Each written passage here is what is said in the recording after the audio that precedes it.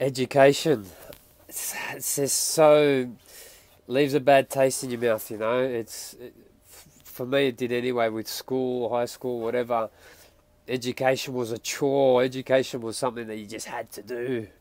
You know, and the information just wasn't interesting. You know, but it can set you free, as Epictetus the Great has said.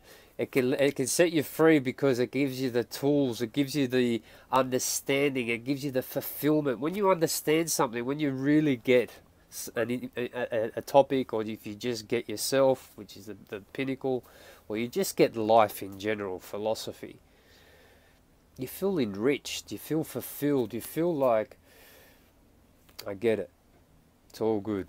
It's all good. Once you understand, you feel great.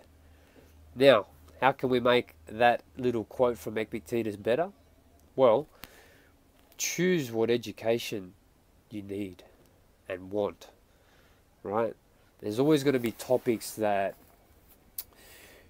you need at the at the time. You may not like them at the time, but you need them. So let's just say you need to improve your uh, well-being. You might study books on nutrition and movement and lifestyle habits. Uh, let's say you want to improve your thoughts, you might look at Stoicism, philosophy, psychology.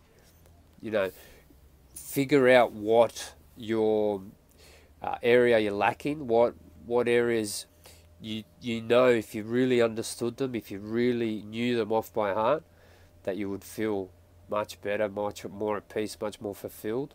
Choose those areas. There's so many books out there. It's ridiculous. Just find the topics that are going to make you better, that are going to make you more fulfilled, that are just going to make you feel like, okay, it's all good, I get it now. It's all good, no worries. Find those topics. It's your mind, your body, how to live more passionately with your spirit, and how to get, get be more connected and grounded with your soul. There's those four areas. There's millions of books to get from those little genres. Figure it out, and you you will be free. Simple as that.